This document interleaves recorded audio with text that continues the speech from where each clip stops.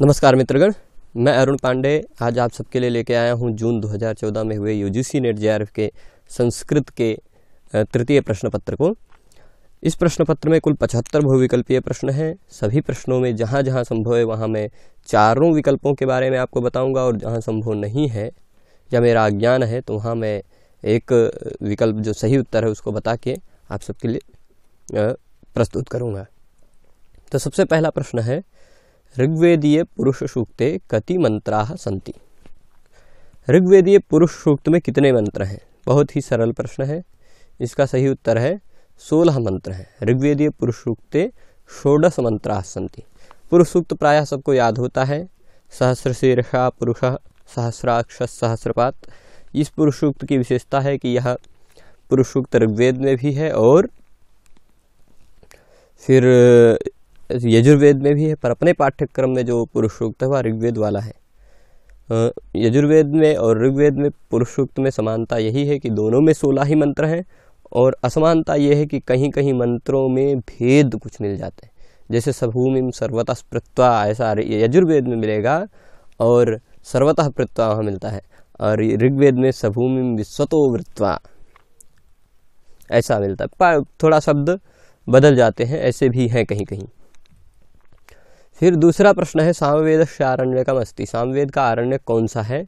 तो इसमें से ये जानना है हमें कि सामवेद का कौन सा आरण्यक है। सबसे पहला ही विकल्प है तवलकार आरण्यक। ये सामवेद का आरण्यक है, तवलकार आरण्यक। फिर और सभी, ये गोपथ, नारदीय, जैमिनी, ये सब आरण्यक नहीं है। गोपथ एक ब्राह्मण है। नारदीय आरण्यक, नारदीय शिक्षा है। आरण्यक तो सुना नहीं है, और जैमिनीय ब्राह्मण मिलता है। कत्यंगुल खाता वेदी ही भवती। कितनी अंगुल की वेदी होती है? वेदी जो होती है ना कितने नाप की होती है? ये उसका प्रश्न है। ब्राह्मण ग्रंथों में भी इसका विवेचन मिलता है, और ज़्यादातर शुल्भ सूत्रों में इसका विवेचन मिलता है। तो कितने उंगली की होती है? इसका सही उत्तर है तीन अंगुली। त्र्यंगुल खाता। वेदी भवती।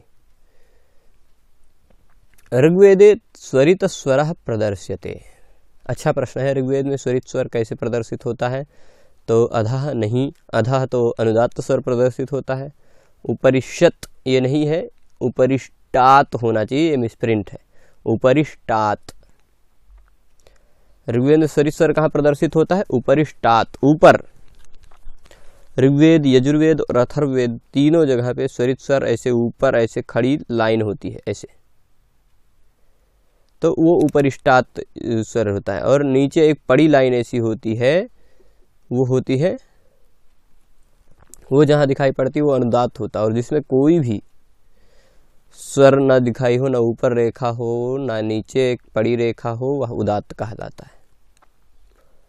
देवासहा इति प्रयोग। अस्ति। देवासह यह प्रयोग कैसा है? लौकिक है या कार्मिक है या वैदिक है या यादृक्षिक है? लौकिक में देवासह ऐसा प्रयोग नहीं होता है। यह हमको ज्ञान होना चाहिए कि देवासह एक वैदिक प्रयोग है। जनासहा वेदासहा बहुवचन में जो अस प्रत्यय होता है जस प्रत्यय सुजस वाला, उसमें ये ऐसे रूप बना लेते हैं देवासहा वैदिक व्याकरण में ऐसा बनता है। दर्श पूर्णमास यागस्य का दक्षिणा। दर्श पूर्णमास याग अगर हो रही है तो उसमें क्या दक्षिणा देनी चाहिए? दर्श पूर्णमास याग की दक्षिणा क्या होनी चाहिए? अन्वाहार्य दक्षिणा होती है।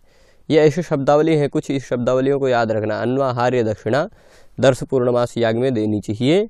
ऐसा शतपथ ब्राह्मण में वर्णन मिलता है। काल सूक्तम युज्यते। काल सूक्त किससे युक्त होता है?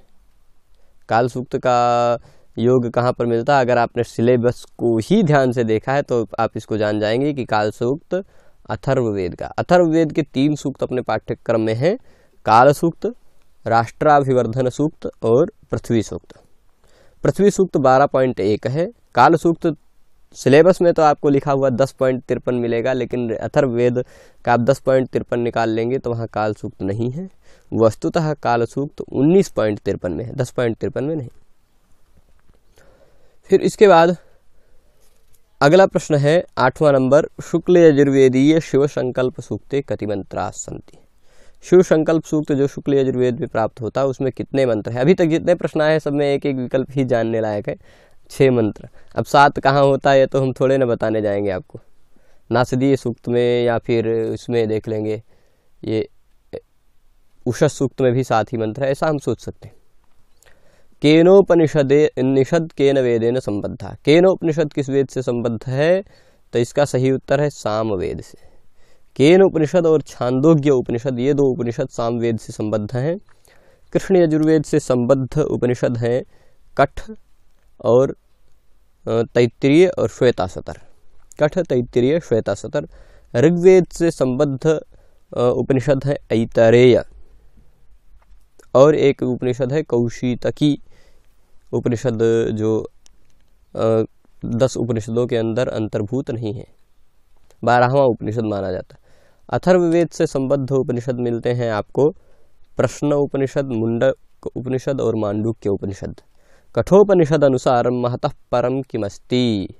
अगर आपको कठोपनिषद याद है तो आप इसको सही उत्तर कर पाएँगे। महतः परम अव्यक्तम अव्यक्तात् पुरुषः परः। पुरुषान्न परम किंचित सा सा परागति। महतः परम अव्यक्तम महत से पर क्या है? अव्यक्त है। वहाँ किससे किससे इंद्रियभ्य पराशर्था ऐसा शुरुआत करते हैं कि इंद्रिय। इंद्रियों से पर कौन है? अर्थ। अर्थ से पर क्या है? मन। मनसस्तु परा बुद्धि। मन से पर क्या है? बुद्धि। और बुद्धि से पर क्या है? आत्मा। बुद्धि आत्मा महान परा और फिर उससे आत्मा से पर क्या है? महत। महत से पर क्या है? अव्यक्त। अव्यक्त से पर क्या है? पुरुष। और पुरुष से पर कुछ नहीं है। पुरुषाद न परम किंचित। ऐसा क्रम वहाँ दिया गया है। कठोपनिषद में पहले अध्याय की तीसरी वल्ली में आप इसको वर्णन के रूप में देख सकते हैं। ईशावास्य दिशा कथम अमृतम अस्नुते ईशावास्य की के आधार पर अमृत कैसे प्राप्त होता है? अमृत।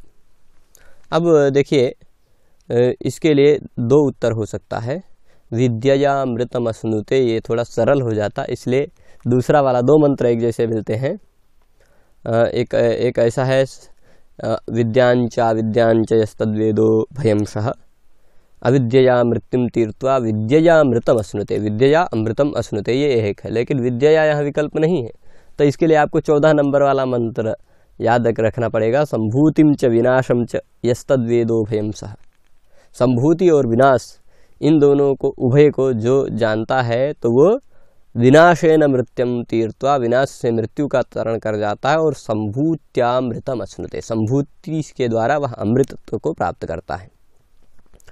तपोदम कर्मेति प्रतिष्ठा अयम विचार कुत्र उपदिश्यते। तपोदम कर्मेति प्रतिष्ठा वेदा सर्वांगानि सत्यमायतनम। उपनिषदम भो ब्रूहि। केनोपनिषद में यह मंत्रांश प्राप्त होता है। केनोपनिषद में चौथे खंड में मिलेगा आपको। समाप्त हो जाता है। इसी के आसपास फिर मतलब एक दो मंत्र इसके बाद है, फिर उपनिषद के उपनिषद समाप्त होता है। तो यह मंत्र कहाँ पर प्राप्त होता है? केनोपनिषद में। ये सभी अब देखिए लगातार सब उपनिषदों के प्रश्न आ रहे हैं।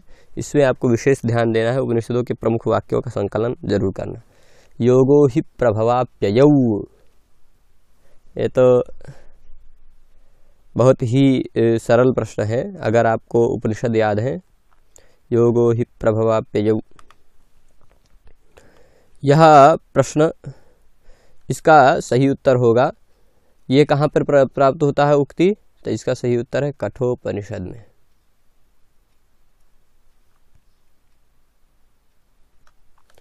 इसके बाद अगला प्रश्न है उत्तब्धम वागेव गीथोत्वगीथा चेत, चेति उद्गीत हाँ यह उक्ति किसमें है? तो मैं निस्संदेह कह सकता हूँ कि यह उक्ति बृहदारण्य उपनिषद में है। क्यों? क्योंकि और तीन उपनिषद मुझे पंक्ति सा याद हैं। केनोपनिषद तैतरीय उपनिषद और कठोपनिषद इन तीनों में ये नहीं है। और उद्गीत की बात हमने सुना है कि उद्गीत की चर्चा बृहदारण्य उपनिषद में प्राप्त होती है, इसलिए हम ये निस्संदेह कह सकते हैं कि यह बृहदारण्य उपनिषद का मंत्र है। इसके बाद का प्रश्न है, पंद्रह नंबर। विज्ञानमय शिर किमुच्यते यह भी प्रश्न उपनिषदों का ही है, तैतृय उपनिषद का प्रश्न है यह। और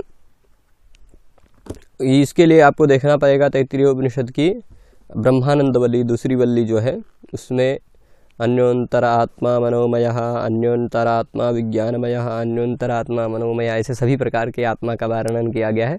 अगर विज्ञान में आत्मा है तो उसका शिर क्या है? तस्य श्रद्ध सिर और मतलब उसका सिर क्या है? सत्य श्रद्धा। मतलब उस हर एक अंग के बारे में वर्णन मिल जाएगा आपको तैतृपनिषद की दूसरी बल्ली में। अब देख लेना, ये बहुत महत्वपूर्ण है। हर एक प्रकार की आत्माओं के शिर हर एक प्रकार की आत्माओं के दक्षिण पक्ष, उत्तर पक्ष, आत्मा, ये सब देखना है। शस्यमिव मर्त्य पच्यते सस्यमिवा जायते पुनः, इति केनोक्तम। बहुत ही अच्छा प्रश्न है और यह कठोपनिषद का है, शुरुआत में ही है, नचिकेता कहता है, मर्त्य सस्यमिव पच्यते मृत्यु लोग कैसा है? फ़सल की तरह उगता है और फट फ़सल की तरह ही नष्ट हो जाता है, सस्य की तरह। नचिकेता का यह वचन है, कठोपनिषद में प्रारंभ में है, पहले ही अध्याय में। ऋग प्रातिशाख्यानुसारम सूक्ष्म वर्ण कहा। ऋग प्रातिशाख्य के अनुसार आप देखेंगे तो सूक्ष्म वर्ण क्या है? युग्म शोष्माणु सूत्र है।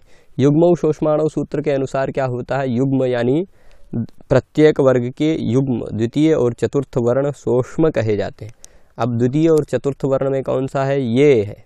पहला ही ये सूक्ष्म कहा जाएगा।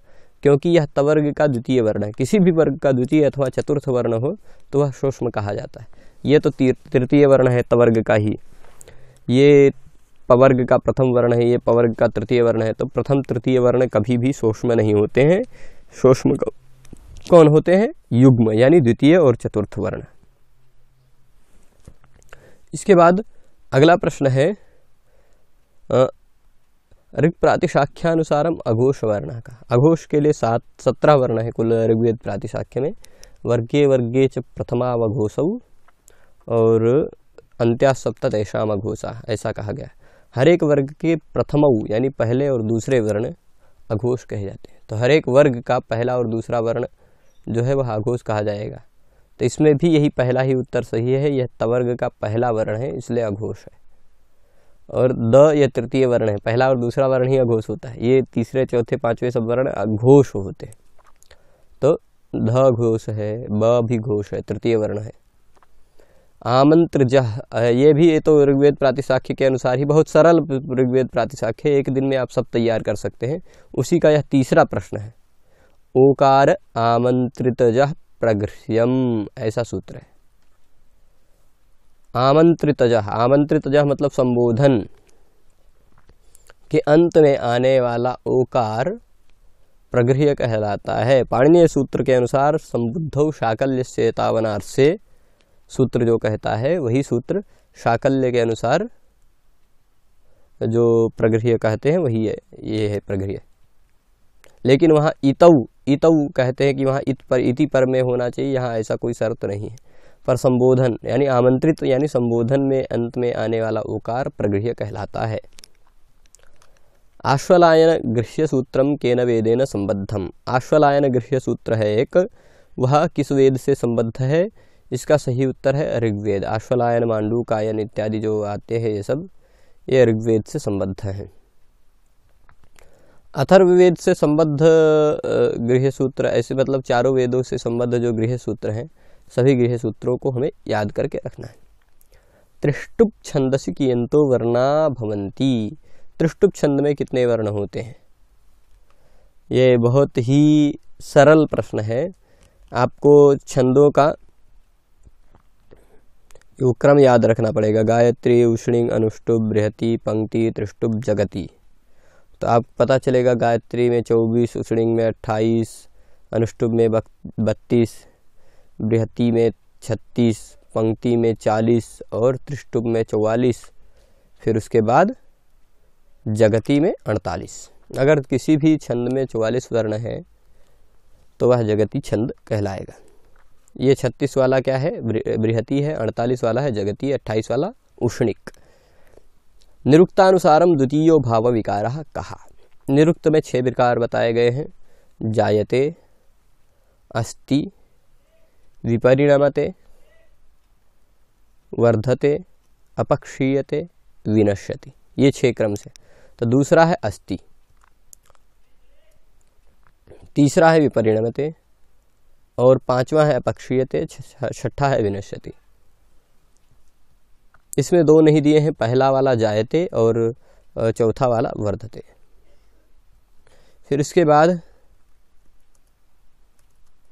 अग्रणीर भवती। अग्रणी कौन होता है? ऐसा निरुक्ति के, इस निरुक्ति के द्वारा किस किस देवता को बताया गया? अग्रणीर भवती, ये तो होता है अग्नि।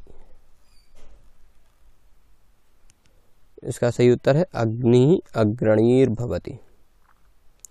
चौबीस नंबर प्रश्न है, वा इति निपातो वर्तते। वा ऐसा निपात क्या है?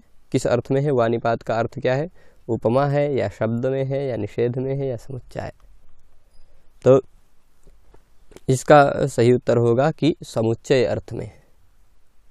वा से निषेध कहीं नहीं कहा गया है शब्दार्थ भी नहीं कहा गया, उपमा तो है ही नहीं। महाभाष्य कूपखानकवत इत्युदाहरणं कस्मिन् प्रसंगे उक्तम हाँ। अथवा कूपखानगवदे तद भविष्यति ऐसा कहा है कि जैसे कुआँ खोदने वाला व्यक्ति कुआँ खोदता है तो पहले उसको मिट्टी लगती है।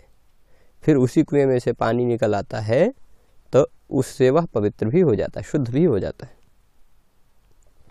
तो ऐसा कूप खानकवत तद भविष्य तो ये जो कहाँ बताया गया है, गहु इत्यत्र का शब्द है इसमें नहीं बताया गया है। वर्णानाम उपदेश किमर्थम इसमें भी नहीं बताया गया, सिद्धे शब्दार्थ संबंधे में भी नहीं बताया शब्द के को जानने में धर्म है इसमें शब्द ज्ञाने धर्म चेत तथा प्रयोग। ऐसा जो एक प्रसंग आता है, शब्द को जानने में धर्म है या प्रयोग में धर्म है, इसमें, इस विषय में, जब चर्चा चलती है महाभाष्य में तो वहाँ पर ऐसा वर्णन मिलता है। कूपखानकवत एतद भविष्य ये भी महाभाष्य का है, छब्बीस नंबर भी प्रश्न महाभाष्य के पहले हानि का है। तुन्नवत इति किमुच्यते। तितौना पुनंती शक्तुमिव एक ऐसा मिलता है वो गौण प्रयोजन उसमें है, शक्तुमिव तितौना पुनंतो यत्र धीरा मनसा, वाचमक्रत, अत्रा सखाया सख्यानि जानते भद्रेशा लक्ष्मीर निहताधिवाची उसमें बताते हैं, तितौ परिपवनम भवती वद्वा तुन्न वद्वा तुन्न वद्वा ऐसा ये कहाँ पर, है, होता है? तो तितऊ परिपवनम भवती। क्या होता है? वो परिपवन होता है। पवित्र करने वाला। परिपवन कैसा होता है? तितउद्वा तुन्नवद्वा। ऐसा कहा गया है वहाँ। ततवद्वा, तुन्नवद्वा। तत्व होने के कारण और तुन्न होने के कारण। फिर उसके बाद, भिक्षु प्रभु उपतिष्ठते। भिक्षु प्रभु के पास उपस्थित हुआ। यहाँ पर आत्मनिपद करने वाला सूत्र कौन सा है? बहुत ही अच्छा प्रश्न है। अकर्म का ये जो मतलब ये भिक्षु प्रभु उपतिष्ठते, यह प्रश्न आप समझेंगे। बहुत ही ज़रूरी है। भिक्षुक है, प्रभु के पास जाता है समीप में तो किस लिए जाता है? वालिपसायाम इति वक्तव्यम। लिप्सा है, उसको कुछ प्राप्त करने की इच्छा है तो विकल्प से आत्मनेपद होता है। वालिप्सायाम इति वक्तव्यम इससे। उपान मंत्र करने से आत्मनेपद उप उपसर्ग के बाद होता है। लेकिन कब होता है? मंत्र करण अर्थ हो।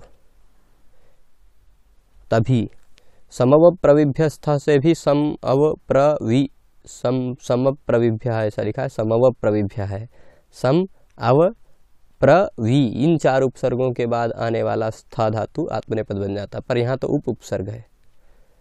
इसलिए इससे भी नहीं है। अकर्म का से तो है ही नहीं, क्योंकि यहाँ प्रभुम कर्म का प्रयोग है। इसके बाद, वीरपत्नी इति कस्य सूत्र से उदाहरण वर्तते। वीर पत्नी ये किस का उदाहरण है? अंतर्वत पतिवत और नुक से क्या नुक आगम होकर यह वीर पत्नी बना है? या इसमें कौन सा नियम लगा है? कहने का तात्पर्य यही है। नित्यम सपत्न्यादिशु नियम लगा है।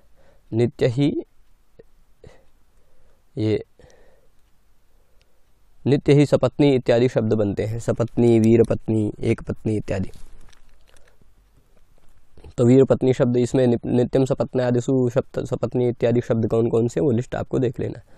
तत्पुरुष समासे देव ब्राह्मण इत्युदाहरणे ब्राह्मण पदेन कहा अभिप्रेत। ये देखिए ऐसा है कि ये मध्यम पदलोपी तत्पुरुष या कुछ लोगों के, मध्यम पदलोपी तत्पुरुष ही कहते हैं। जैसे शाख पार्थिवादी शाख पार्थिवादी नाम सिद्ध है उत्तर पदलोप पदलोपस्योपसंख्यानम, ऐसा एक वार्तिक मिलता है। शाख पार्थिवाद दी में ये भी एक शब्द है। शाक प्रिय पार्थिव, शाक पार्थिव। देव पूजको ब्राह्मण, देव ब्राह्मण। देव पूजक जो ब्राह्मण होता है, वह देव ब्राह्मण कहता है, कहलाता है। तो देव पूजक ब्राह्मण, देव ब्राह्मण, पूजक शब्द का लोप हो जाता है। अलंकुमार्य इति समस्तम रूपम किम? अलम कुमार्य इसका समास करेंगे तो शुद्ध रूप क्या बन के निकलेगा? अलंकुमारी ही।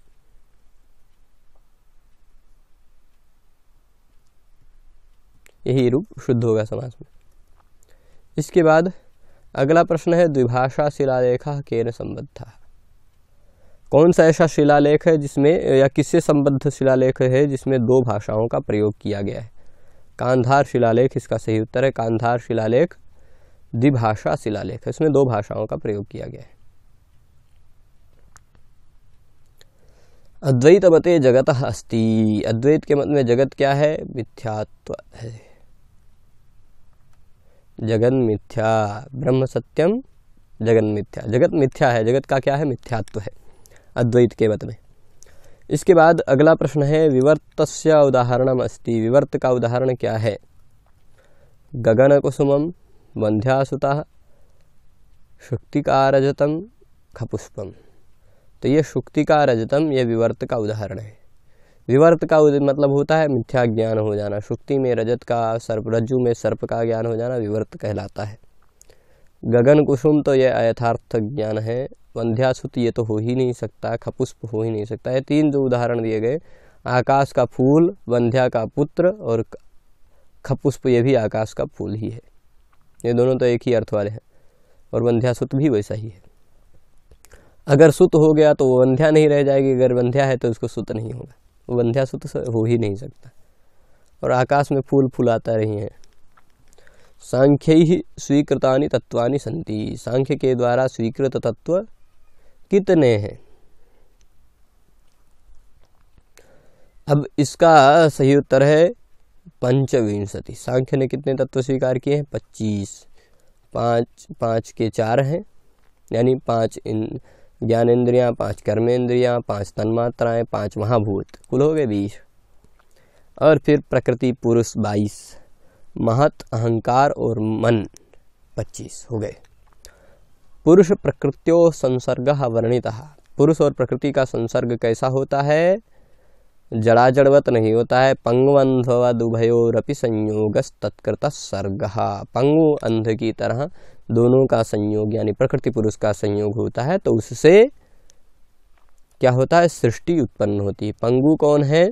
उनमें से ये भी महत्वपूर्ण है। अंध कौन है? ये भी ध्यान रखना। पंगु है पुरुष और अंध है प्रकृति। प्रकृति अंध है, वो चल सकती है। पंगु पुरुष है वो चल नहीं सकता इसलिए प्रकृति के कंधे पे बैठ के चलते पंगवंध की, की न्याय चलता है। अर्थ संग्रह विशिष्ट विधे उदाहरण अस्ति अर्थ संग्रह में विशिष्ट विधि का उदाहरण क्या बताया गया है? तो इसमें देखिए दधना जो होती है विनियोग विधि का है या गुण विधि का अग्निहोत्रम जुहियात स्वर्ग काम ये भी विशिष्ट विधि सोमेन यजेता यह विशिष्ट विधि का उदाहरण है। तो इसका सही उत्तर क्या होगा? सोमेन यजेत। इसके बाद का प्रश्न है, विनियोग विधे सहकारी प्रमाणानी संति विनियोग विधि का सहकारी प्रमाण कितने हैं? तो छः प्रमाण हैं, श्रुति, लिंग इत्यादि। देखना है, श्रुति सबसे प्रकरण, श्रुति प्रकरण नाम, लिंग ऐसे कुछ हैं। छः, अभी नाम में मुझे भी भूल गए हैं। तो छह सहकारी भूत प्रमाण हैं, विनियोग विधि के। वो देखना है आपको। अर्थ संग्रहानुसारम आख्यातेन किमुच्यते। अर्थ संग्रह के अनुसार आख्यात के द्वारा किसका अभिधान होता है? आख्यात के द्वारा क्या कहा जाता है? कर्ता, कर्म की भावना की करण उभाभ्याम अंशाभ्याम भावना उच्यते। दोनों अंशों के द्वारा भावना कही जाती है। यह अर्थ संग्रह का विषय है। वहाँ पर आख्यातत्व, लिंगत्व, इन सभी अंशों से भावना कही जाती है। वो भावना दो प्रकार की होती शाब्दी भावना आर्थी भावना। हम्म, अर्थवाद का लक्षण क्या है? स्तुति निंदा अन्यतरम परम वाक्यम यही इसका सही उत्तर है। स्तुति या प्रशंसा ऐसा भी होता है। प्रशंसा निंदा या स्तुति निंदा इन दोनों में से किसी भी वक्त किसी भी व्यक्ति की किसी भी वाक्य की किसी भी तथ्य की प्रशंसा या निंदा की जाए तो वह वाक्य अर्थवाद कहलाता है।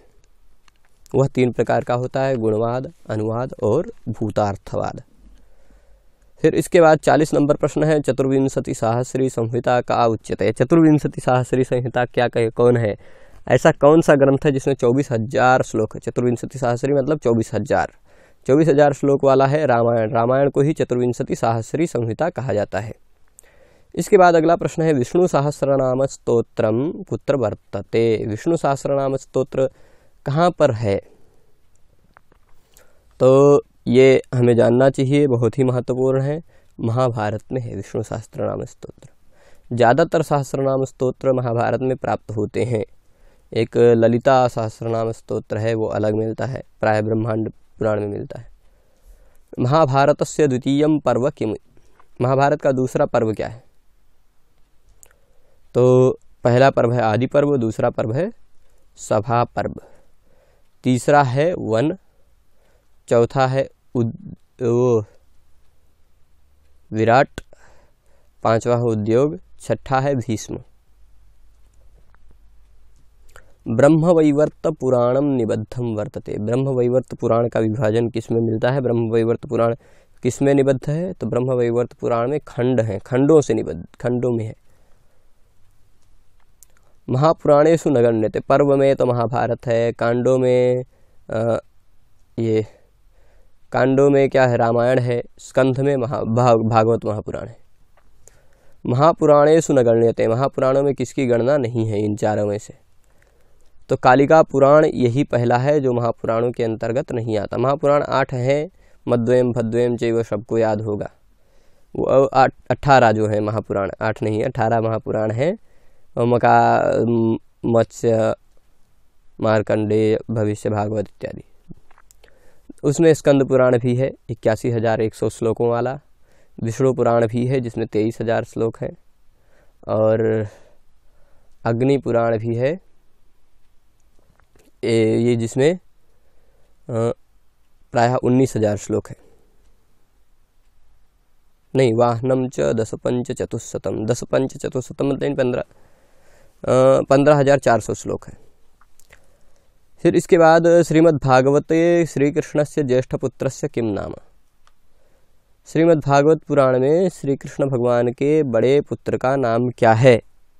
बड़े पुत्र का नाम इसमें कौन है? क्या है? प्रद्युम्न श्री कृष्ण के बड़े पुत्र थे। सांब भी श्री कृष्ण के पुत्र थे, जाम्बवती से उत्पन्न, यानी श्री कृष्ण के जाम्बवती श्री कृष्ण और जाम्बवती के पुत्र थे सांब श्री कृष्ण और रुक्मिणी के पुत्र थे प्रद्युम्न। संकर्षण तो बलराम का ही नाम था तो वो तो पुत्र थे ही नहीं, बड़े भाई थे। अनिरुद्ध, ये है प्रद्युम्न के पुत्र है श्री कृष्ण के पोते। रास पंचाध्यायी कुत्र वर्तते। रास पंचाध्यायी कहाँ पर है? तो रास पंचाध्यायी श्रीमद् भागवत महापुराण में मिलती है रास पंचाध्यायी कहाँ पे मिलती है? श्रीमद् भागवत महापुराण में। दसम स्कंध में तीस के आसपास अध्यायों में। पाँच अध्याय हैं जिसमें भगवान विहरन्तुं मनश्चक्रे योगमाया योगमायामुपाश्रितः। जब भगवान श्री कृष्ण का विहार करने का मन हुआ तो उन्होंने योग माया का आश्रय लिया और फिर ये रासलीला की। तो पाँच अध्यायों में बहुत ही उसमें वेदांती लोग वेदांत की बातों को खोज लेते हैं, साहित्यिक लोग साहित्य की बातों को खोज लेते हैं, भक्त लोग भक्ति रस को खोज लेते हैं, बहुत कुछ है उसमें। अर्थशास्त्र से चतुर्थाधिकरण वर्तते। अर्थशास्त्र का चौथा अधिकरण कौन सा है? तो पहला है विनयाधिकारिक, दूसरा है अध्यक्ष प्रचार, तीसरा है धर्मस्थीय, चौथा है कंटक शोधन। कंटक शोधन यह चौथा अधिकरण है कौटिल्य अर्थशास्त्र का पंद्रहों अधिकरणों का नाम आपको याद रखना है। आ, मेरे टेलीग्राम ग्रुप में आप जुड़ेंगे लिंक में डाल दूँगा तो उसमें आपको एक परीक्षा कारिकावली नाम का पीडीएफ मिल जाएगा। उसमें कुछ ऐसे श्लोक बना के रखे हैं जिसमें सभी ग्रंथों के कुछ कुछ ग्रंथों के प्रकरणों का नाम कुछ कुछ ग्रंथों के अध्यायों का नाम आप सरलता से याद कर सकते हैं। जैसे विनयाध्यक्ष धर्मस्थम कंटकम योग मंडल ऐसे हमने बनाया विनयाध्यक्ष। विनय से विनयाधिकारी याद रहेगा, अध्यक्ष से अध्यक्ष प्रचार याद रहेगा, धर्मस्थ से धर्मस्थीय याद रहेगा कंटकम से कंटक शोधन याद रहेगा, योग से योग वृत्तम याद रहेगा, मंडल से मंडल योनि याद रहेगा। ऐसा मतलब क्रमशः बनाया, बना के रखा है, क्रम है वही। बहुत सारे श्लोक इस तरह के बना के रखे परीक्षा कारिकावली आप याद कर सकते हैं और उसको चार्ट के आधार पर समझ सकते हैं। संधि कर्म कुत्र उपदिष्टम। संधि कर्म कहाँ पर उपदिष्ट है? धर्मस्थीय में है, या अध्यक्ष प्रचार में है, या योग वृत्त में है, या फिर षाडगुण्य में है। इस तरह के प्रश्नों के लिए आपको क्या करना है? पंद्रह, जो चौदह या पंद्रह अधिकरण है, पंद्रह अधिकरण है, उन सभी अधिकरणों का क्या करना है? सभी अधिकरणों के अंदर प्रतिपाद्य विषय वस्तु क्या है, वो ज़रूर देख लेना है। तो इसका सही उत्तर क्या है? धर्म ये क्या है? संधि कर्म संधि कर्म कहाँ पर मिलता है? तो इसका सही उत्तर षाटगुण्य में। षाटगुण्य नाम का जो अधिकरण है, उसमें ये संधि कर्म का वर्णन मिलता है। सामवेद संप्राप्त। है प्रश्न अगला क्या है? सामवेद संप्राप्त। सामवेद कहाँ से संप्राप्त हुआ? सूर्य सूर्य से या अग्नि से या वायु से या वरुण से। इसका सही उत्तर है आदित्य से यानी सूर्य से। सामवेद के प्रमुख ऋषि आदित्य हैं। अग्नि है ऋग्वेद के। अग्नि ऋग्वेद कहाँ से प्राप्त हुआ? अग्नि से। वायु से प्राप्त हुआ यजुर्वेद और अंगिरा से प्राप्त हुआ था अथर्वेद मनुना अन्नप्राशन काल अन्नप्राशन से काल उगता मनु ने अन्नप्राशन का काल क्या कहा है? यानी बालक की, की उत्पत्ति हुई है बालक का जन्म हुआ है तो उसका अन्नप्राशन कब करवाना चाहिए? इसका सही उत्तर है षष्ठे माह से उसके जन्म से छठवें महीने में अन्नप्राशन उसको करवाना चाहिए, ये सही उत्तर है। याज्ञवल्क्य दिशा वस्त्र वृद्धि रुकता है। याज्ञवल्क्य के अनुसार वस्त्र की वृद्धि होती है। कितने गुणे वृद्धि होती वस्त्र की?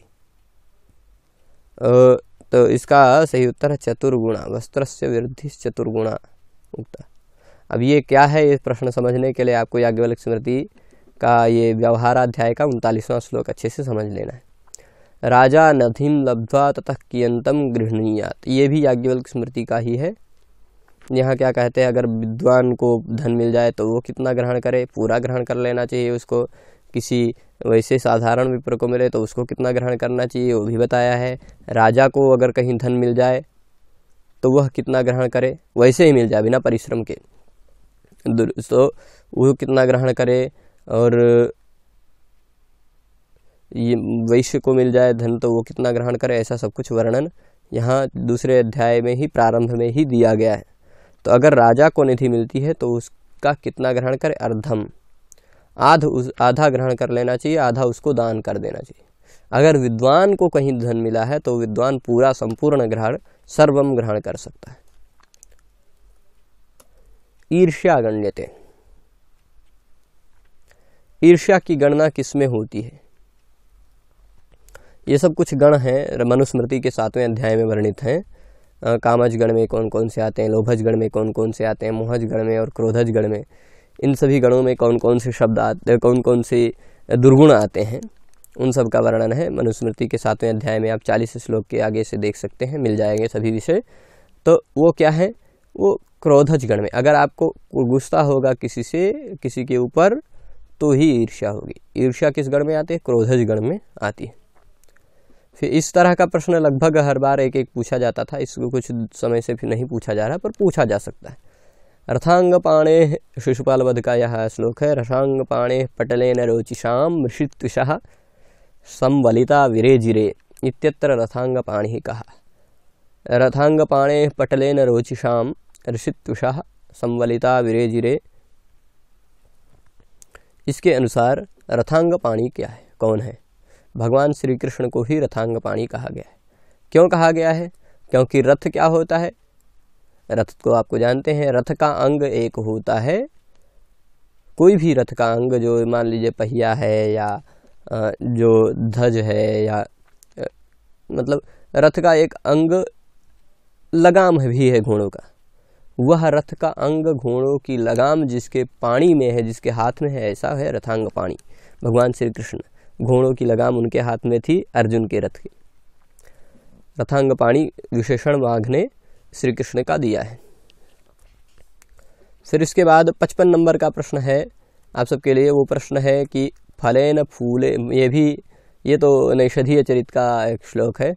फलेन मूलेन च वारी भूरुहा मुने रिवेत्थम मम यस्य वृत्तयः। कम प्रति कस्य इयम उक्ति। यह उक्ति किसके प्रति है? हंस की उक्ति है। हंस की उक्ति है, पर किसके प्रति? नल के प्रति। नल से हंस कहता है, फलेन मूलेन चवारी भूरुहाम मुने रेवेथम मम यस्य वृत्तया। मेरी वृत्तियाँ मुनि की तरह हो गई हैं। मैं फल और मूल से ही काम चला रहा हूँ, पानी से काम चला रहा हूँ।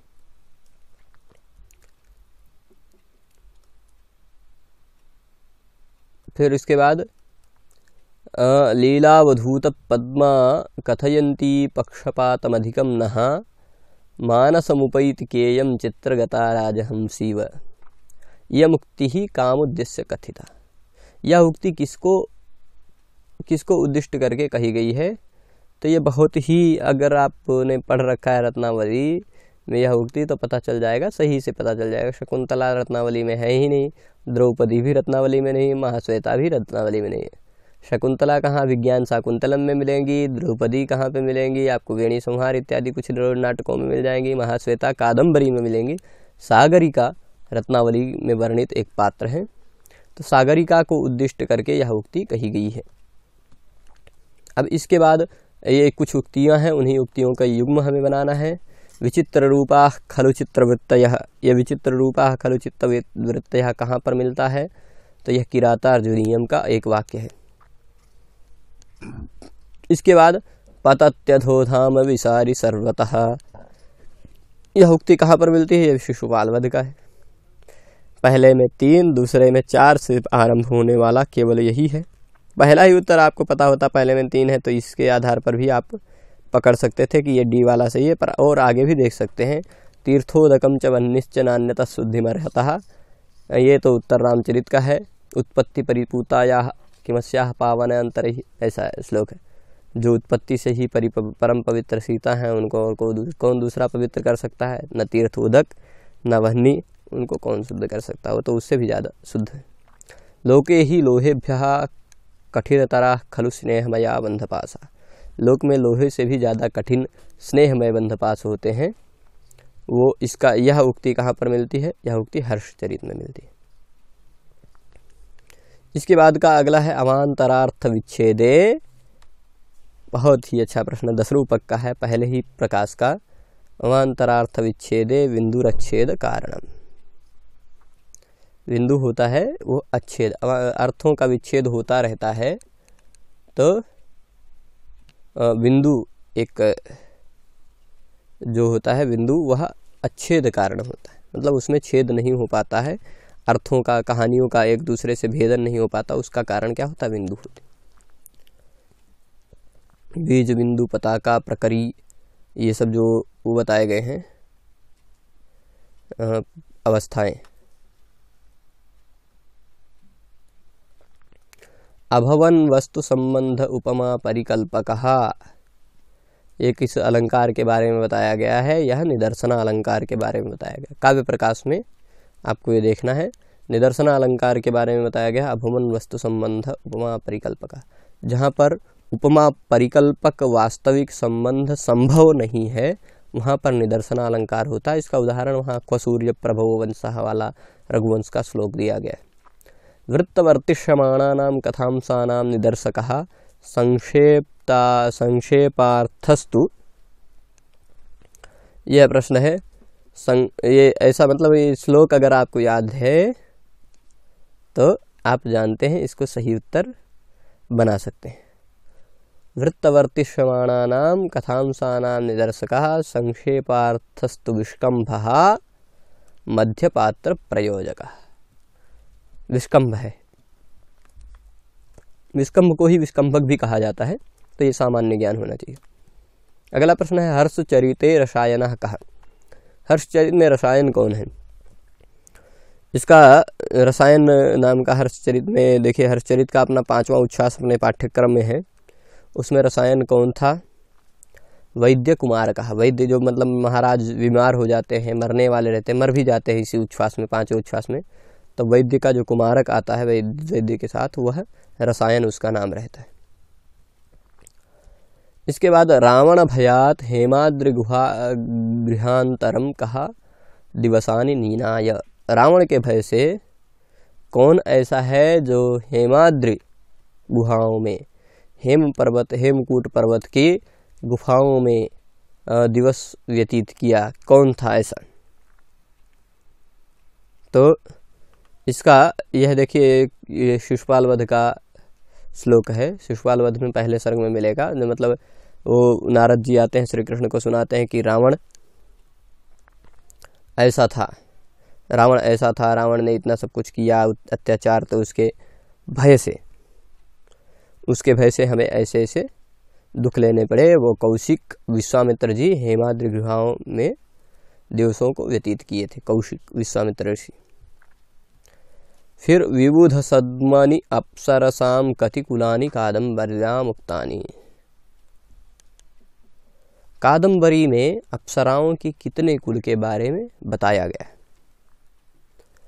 चौदह कुल अप्सराओं के बताए गए हैं।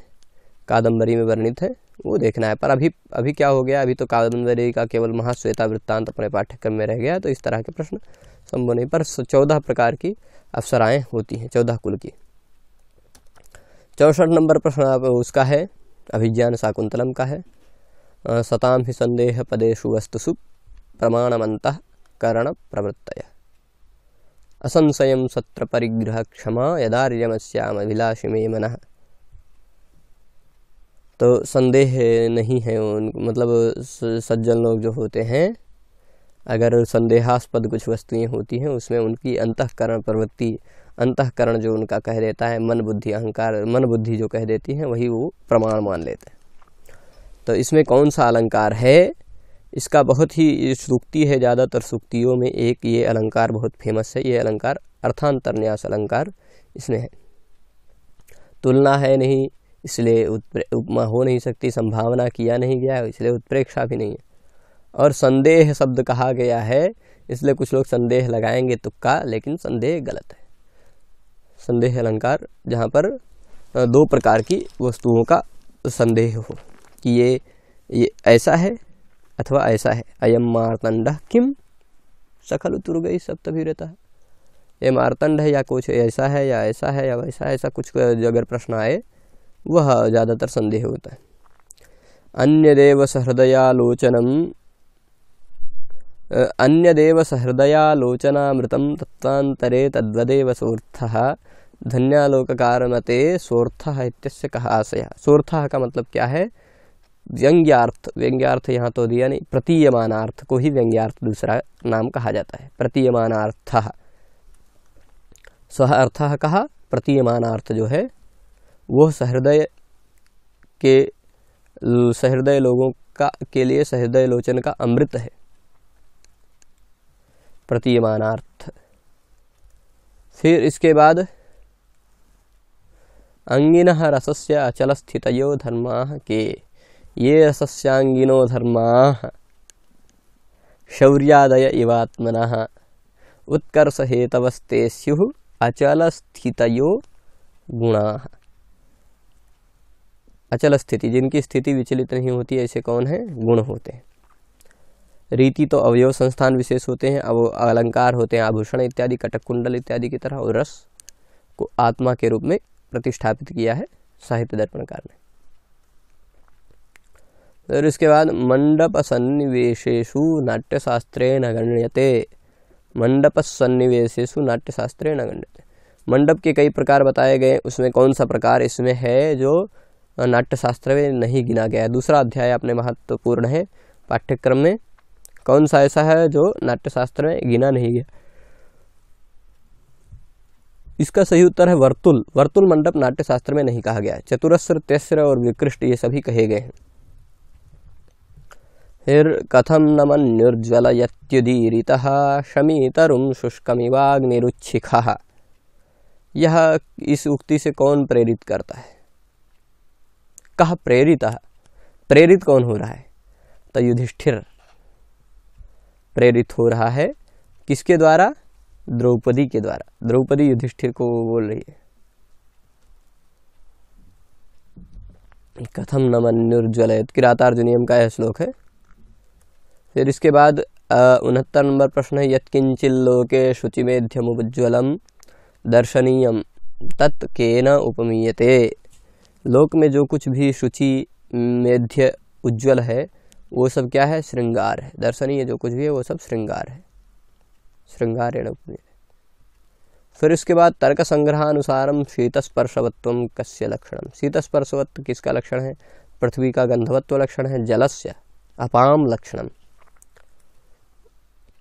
वायु का लक्षण है, रूपरहित स्पर्शवत्व पर दुख से पर दुख का कोई ऐसा विषय विवेचित तर्क संग्रह में नहीं है। फिर इसके बाद तर्क संग्रहानुसारम तेजस विषय कतिविधा। तेजस विषय तर्क संग्रह में आप देखेंगे तो इसका सही उत्तर है चतुर्विधा। विषय चतुर्विधा भौमम दिव्योदर्याकरज भेदात। भौम, दिव्य, उदर्य, आकरज। भौम क्या होता है? वहनी इत्यादि भूमि में उत्पन्न होने वाले भौम वन्नी आग इत्यादि वो तेजस का विषय है। दिव्य यानी द्युलोक में प्राप्त होने वाले दिव्य विद्युत इत्यादि, आकाश में जो विद्युत चमकते हैं वो सब दिव्य है। उदर्य, जठराग्नि में रहने वाला जो अग्नि है, वह उदर्य अग्नि है। और आकरज, खनिज, अग्नि, सुवर्ण इत्यादि। फिर इसके बाद तर्क संग्रहानुसारम पृथिव्याम रूपम पृथ्वी में कितने प्रकार का रूप होता है तर्क संग्रह के अनुसार? तत्र पृथिव्याम सप्तविधम सातों प्रकार के जो रूप हैं, शुक्ल, नील, पीत, रक्त, हरित, कपिश, चित्र, ये जो सातों प्रकार के रूप हैं, सातों प्रकार के रूप पृथ्वी में होते हैं। और रूप कहीं होता है मतलब इसमें पृथ्वी में होता है, जल में भी रूप होता है, क्योंकि जल भी दिखाई पड़ता है। जल में कौन सा रूप होता है? भास्वर अभास्वर शुक्ल जल में होता है।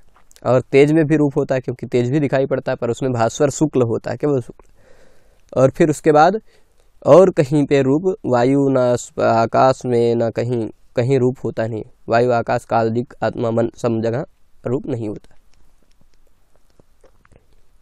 इसके बाद का प्रश्न है, शुक्त इतम इदम रजतम इति ज्ञानम अस्ति। इसका सही उत्तर क्या होगा? शुक्ति पड़ी है। उसमें, शुक्ति में आप जा रहे हैं समुद्र के किनारे, कहीं शुक्ति पड़ी हुई है या रोड पे ही कहीं शुक्ति कम पड़ी हुई है, उसकी चमक से ऐसे लग रहा है कि ये तो चांदी है। ऐसा ज्ञान क्या होता है? अप्रमा अब अयथार्थ ज्ञान जिसे कहते हैं। प्रमा यानी यथार्थ ज्ञान। इस सुक्ति में चांदी के ज्ञान ज्ञान हो जाए वो तो प्रमात हो ही नहीं सकता, यथार्थ ज्ञान हो ही नहीं सकता, उपमिति तो हो ही नहीं सकती तुलना वाली। अब प्रमा ही इसका सही उत्तर है। प्रमा और यथार्थानुभव, इनमें दो जो विकल्प कहे गए हैं, वो सुक्तो इदम सुक्ति इति ज्ञानम अथवा रजते इदम रजतम इति ज्ञानम। जो जैसा है वैसा ज्ञान होना प्रमा अथवा यथार्थानुभव कहलाता है। उपमिति तो गो सदृशो गवय इति ज्ञानम, उपमिति। फिर अंतिम दो प्रश्न ये हैं। पहला है कि पंचावयव प्रयोग एव परार्थानुमान पंचावयव का प्रयोग करना ही परार्थानुमान होता। पंचावय वाक्य कौन कौन से हैं? प्रतिज्ञा, हेतु, उदाहरण उपनय निगमन, इनका प्रयोग करना ही परार्थानुमान कहलाता है। फिर इसके बाद अधोलिखित युग्मानाम समीचीन तालिकाम चिनुता। जो अधोलिखित युग्म है, इसका सही तालिका हमें बनाना है। अर्थाबाध किया है, योग्यता है। सही, पहला यह है, अर्थाबाधो योग्यता। पहले में आएगा दो, या तो ए विकल्प सही होगा, या तो डी सही होगा। फिर देख लेते हैं क्या है। गौरस्व पुरुषो हस्ति इति न प्रमाणम, अप्रमाणम होता है। तो अप्रमाणम होता है। और अग्निना सिंचती ये भी नहीं प्रमाण है। और फिर प्रहरे प्रहरे सहोचरितानी ये भी नहीं अप्रमाण है। मतलब तीनों अप्रमाण हैं, पर क्यों? वो कारण भी यहाँ अगर दे रखा है तो कारण से हमें मिलाना है गौ अश्व पुरुष हस्ती। इसमें क्या है? आकांक्षा विराहत न प्रमाणम। ये अप्रमाणम में ही जाएगा। आकांक्षा वाला कोई विकल्प नहीं दिया है। पर प्रहरे प्रहरे असहोच्चरितानी सन्निधिम अभावंती सन्निधि नहीं है इसमें। प्रहर प्रहर, एक पहले सुबह में कुछ बोल दिया गया, दोपहर में कुछ बोल दिया गया, उसमें सन्निधि नहीं है। और अग्निना सिंचती सिंचती में योग्यता नहीं, अग्नि में सेचन की योग्यता नहीं। तो दो एक चार तीन दो एक चार तीन वाला यही पहला विकल्प सही है। आप मिला के देख सकते हैं। तो इस वीडियो में, आज के इस वीडियो में इतना ही। अगला वीडियो लेके हम शीघ्र ही आप सब तक उपस्थित होंगे। पूरा वीडियो देखने के लिए धन्यवाद।